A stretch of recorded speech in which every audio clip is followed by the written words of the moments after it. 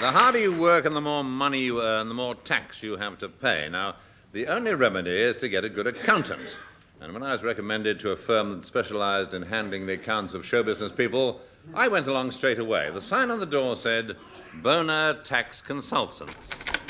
Hello, anybody there? Oh, hello, I'm Julian. This is my friend Sandy. Oh, hello, Mr. Horne. Nice to find you. We are your actual accountants. He's chartered, I'm certified. what brings you trolling in here, then? Well, uh, I was recommended to you by a show business acquaintance of mine. Oh. Yes, to be precise, the steam room attendant at the South Mimms Gents Slipper Baths are go-go. Oh, Gordon. Yeah, he uh, wishes to be remembered to you. Gordon? Yes, you remember him. He used to be in the wardrobe at Elstree. You know. no, Elstree. The studios. You remember he had it Oh. embroidered on his coat? Oh, Gordon. You remember him? That Golden. Yeah. Yeah. Oh. Anyway, he said you could help me with my tax return. Oh, yes. Yes, well, you'll have to let us value your assets. You know, you know what I mean? Do you have to really? Oh, it's essential, but it's in the strictest confidence. We're like doctors, aren't we, Jules? we oh, never divulge. Never, never, Never divulge. never.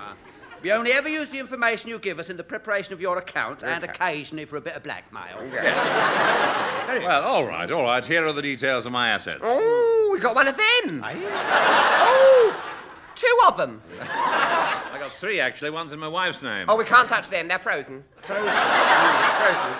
Well, we could half on them. That, Jules.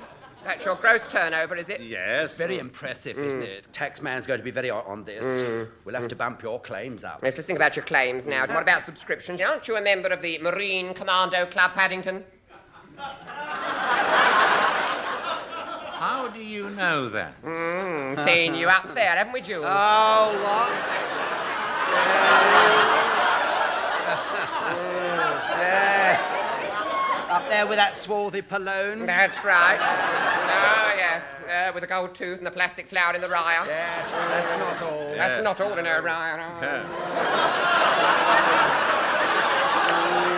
Ah, Now, if you're referring to, to Miss Fifi La Bootstrap, Yes, we are. She's a, she's a talented cabaret artiste. Ooh. Yes, I was helping her with her career. Oh, well, no, it's all right, Ducky. We've all got your number.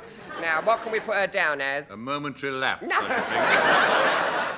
No, I mean tax-wise, heart face. Now then, stop it, you two. no, now come on. And look, did she buy you a drink, Mr. Horne? yes, why? Well, we'll claim her as a foreign buyer. Ah. Yeah, that's right. Now, what about dependents? How many dependents you got? Well, none to speak of. If you had some dependents, we could really bump your claims up. We could claim for their clothing, holidays, allowances, cars. Hmm. Really make all the difference to your tax position. Then I think we can get round it. Here, okay, just sign these forms. All right, there we are. Now, what are they exactly? Adoption papers. Yes. Oh, Yeah. who have I adopted? Jewel and me.